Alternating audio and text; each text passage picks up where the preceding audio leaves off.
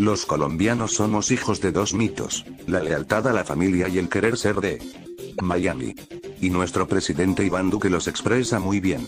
Obediencia debida a su inflexible padre Álvaro Uribe, simpatía juguetona con su chistoso tío Donald Trump. En toda familia siempre hay un hijo sonso, pero con suerte. Y en la familia colombiana ese es nuestro presidente Duque.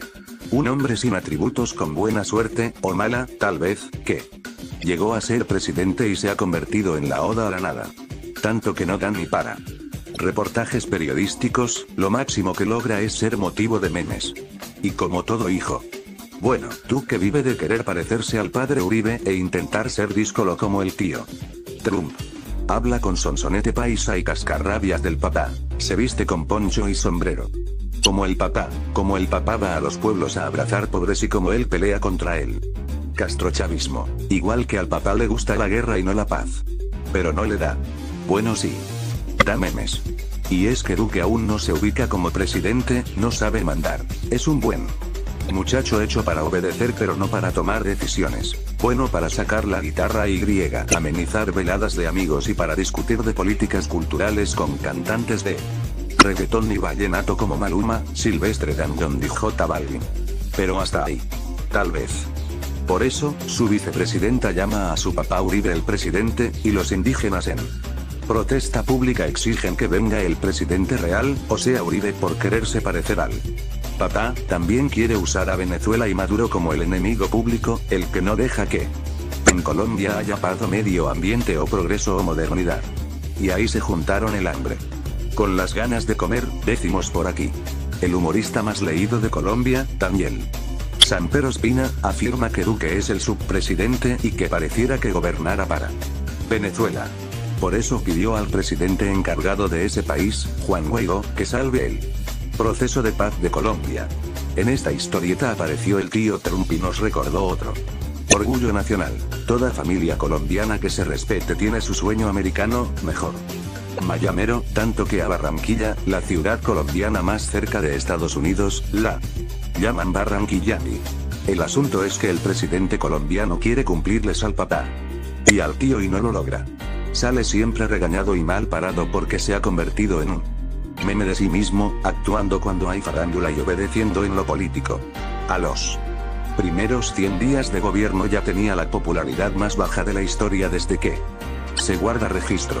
Solo 27,2% de los votantes aprobaban su desempeño.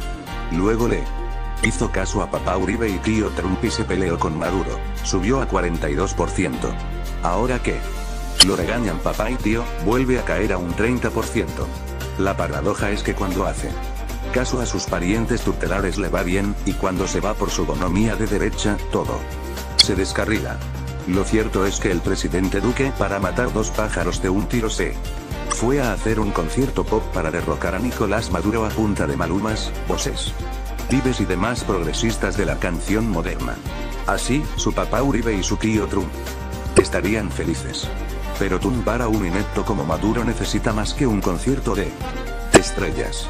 Y otra vez Duque quedó como el tonto que por obedecer hace el ridículo público para colmo, en solo una semana el papá Uribe lo regañó por no masacrar indios y griega, acordar con ellos y su tío Trump lo regañó porque no ha hecho nada para ayudar a Estados Unidos a consumir menos drogas.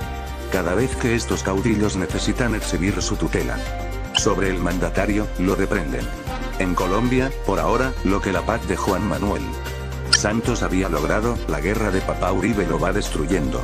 Para remate, el tío Trump Viene a decir que ya no somos un destino seguro para viajar y desde el 9 de abril, el Departamento de Estado estadounidense clasifica al país en riesgo K, de alto riesgo de secuestro.